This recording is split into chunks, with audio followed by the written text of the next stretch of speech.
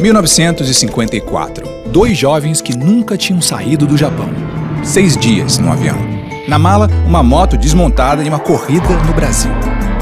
Tem coisas que só dão certo depois que tudo dá errado.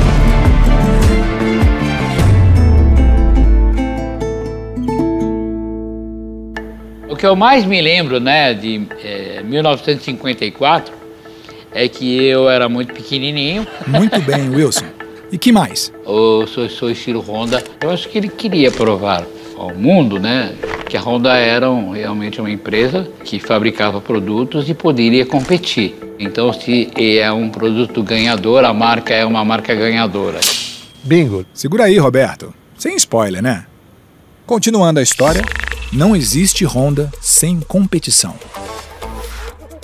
Our founder, Mr. Soichiro Honda, loves racing and he decided to have a race before stabilizing the company.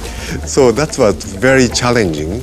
Esse espírito de desafio, né, vamos dizer assim, isso está enraizado não só no, no Japão, mas aqui no Brasil também. Hoje seu nome está na marca que é a maior campeã do planeta no motociclismo. Parece que a persistência e o destino entraram de acordo para fazer uma história acontecer. Sua deixa, Roberto. A história é saborosa. Não, não, não, não. Peraí, peraí. Alguma coisa no seu óculos aqui que tem uma fita. Vamos de novo? Agora sim. Roberto, take 2. A história é saborosa. Então o Soichiro Honda inventou de fazer um protótipo. Então essa era a Honda R125. A primeira moto de competição construída pela marca para fazer sua estreia em corridas fora do Japão. Tu aponta para um cara lá, Mikio Omura, 20 anos, e fala: Você, sabe o Brasil? Bem longe? Você vai. Fazer o quê? Correr lá. Entre o Japão e o Brasil é do outro lado do mundo. É muito longe. Você entendeu? Entendi sim. 400 anos. Aí está a metrópole. As comemorações do quarto centenário vão começar. Vinha aí a temporada de motociclismo paulistano, com pilotos do mundo todo, além do japonês Mikio Omura, que chegava para competir pela desconhecida Honda. E pode acreditar, na mala veio a moto. Sem dinheiro para despachar, foi declarada como bagagem pessoal e veio desmontada, peça por peça. Para montar a moto veio junto o engenheiro Toshide Baba. A Honda preparou a primeira R, né? As motos de competição Honda têm o R no começo. Mas por que R?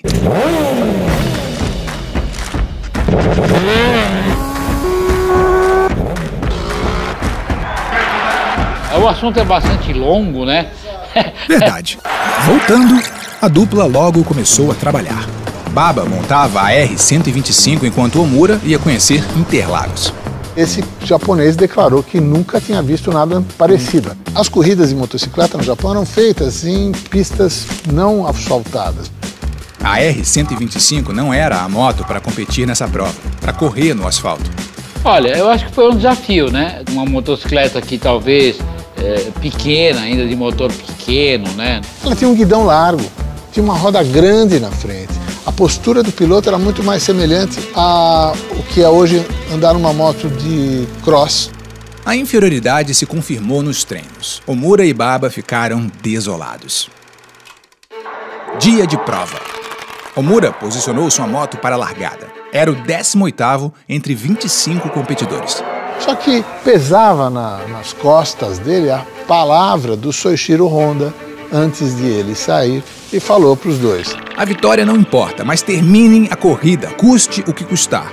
Vocês não voltem para o Japão se vocês não terminarem a corrida. A valentia da R-125 e do japonês deixaram para trás rivais muito mais preparados e bem equipados. Então o grid era muito é, premiado, tinha gente campeã do mundo. Omura conseguiu um heróico 13º lugar. Mas assim, 13º em 25 com aquela moto foi uma conquista. É, mas a alegria durou pouco. A organização desse evento parece que deixaram de pagar o frete né, dessa motocicleta e depois também a premiação né, para o piloto que participasse, independente da sua colocação. Aí vem o, talvez a história dentro da história. Para eles voltarem ao Japão, essa moto, primeira Honda fabricada especificamente para competição, teve que ser vendida para poder bancar a volta deles para o Japão.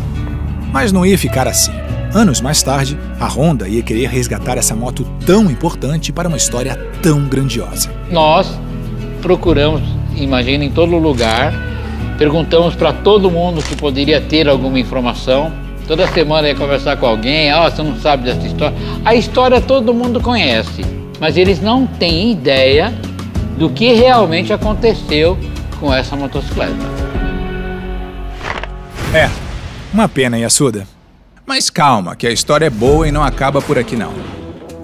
Quase 50 anos depois daquela tarde em São Paulo, Mikio Omura se reencontrou com a sua R125.